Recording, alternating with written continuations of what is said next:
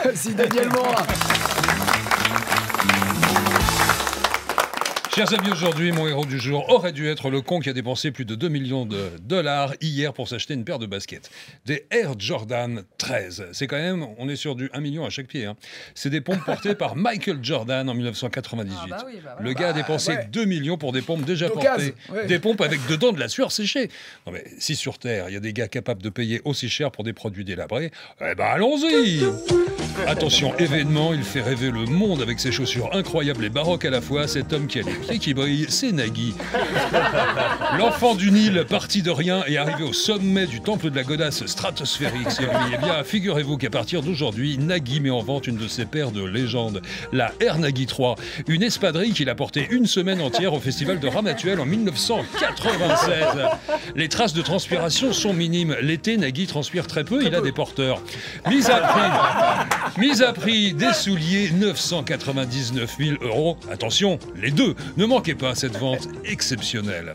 Non mais avouez que 2 millions de dollars la paire de pompes, c'est un signe de connerie avancée. Et moi, quelqu'un d'aussi con, bah, j'ai envie d'en faire mon héros. Mais en même temps, récompenser la connerie, c'est dangereux. Quand ils vont apprendre ça, tous les cons du monde, ils vont se tirer la bourre pour devenir héros du jour sur France Inter. On va pas s'en sortir, les gars. Du coup, non.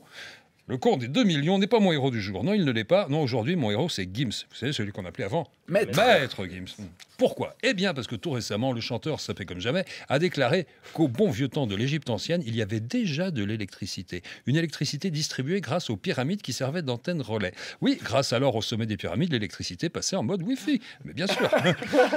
Putain, eh, je savais qu'ils étaient balèzes, les Égyptiens. Les gars ont quand même inventé l'alphabet, le papyrus, la coupe au carré, les photos de profil. Mais de là à avoir l'électricité il y a plus de 4000 ans, jamais je me serais douté. Et si ça se trouve, on n'est pas au bout de nos surprises avec les révélations fulgurantes de nos chanteurs historiens. Attention, révélation. Cette semaine, dans Science et Variété, découvrez l'interview choc de Christophe Mahé. Le chanteur qui se demande il est où le bonheur. Il nous apprend que ce sont les Romains qui ont lancé TikTok il y a 2000 ans.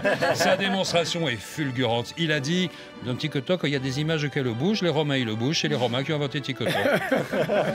Le monde scientifique salue la démonstration et s'incline devant le génie du chanteur, créateur, sculpteur de Carpentras.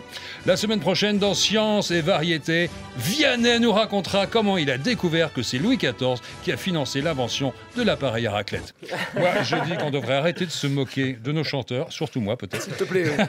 C'est donc pour ça que sans hésiter, je désigne Maître Gims, enfin Gims maintenant, comme héros du jour. Merci Daniel Morin.